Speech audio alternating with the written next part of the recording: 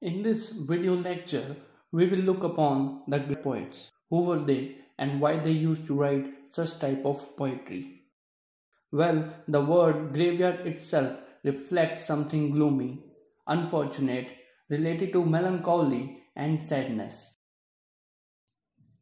The poems published under this form is known as the Graveyard School of Poetry, which is also known as Churchyard School. It is a collection poems of early to mid 18th century written by British poets. Many of the poems are elegies that also means lament for the dead. As far as the NET examination is concerned, one should not miss the four important works of graveyard poets.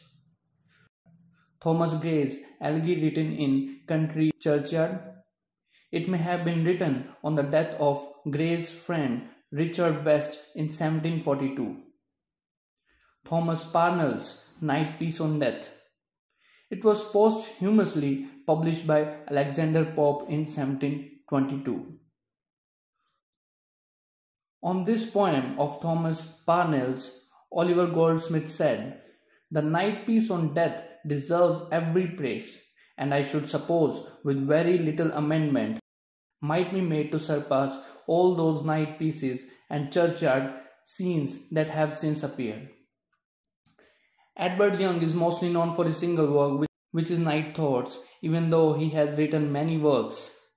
The poem was a success for Young and was translated in several uh, different languages and made him famous abroad. William Blake illustrated this work the title of this work was The Complaint and the Consolation or Night Thoughts by Edward Young. It is illustrated in four volumes. Robert Blair's The Grave. Robert Blair was a Scottish poet. The work is major for the evangelical revival. The evangelical revival was nothing but a series of religious movements in Scotland. This work is also illustrated by William Blake.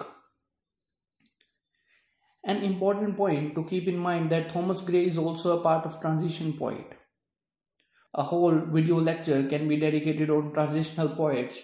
Therefore, we will not go in detail. For timing, you must remember that these were 18th century poets. These poets were not much worried about rules and conventions.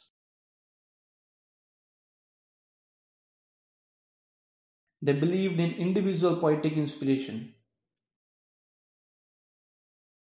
Lastly, graveyard poets were the precursor for the Gothic genre.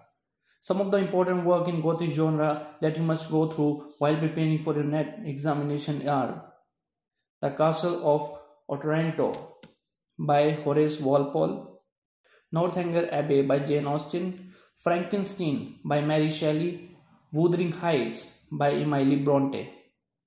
The Picture of Dorian Gray by Oscar Wilde. That's enough in today's video. If you find the lecture informative, hit the like button and subscribe for more.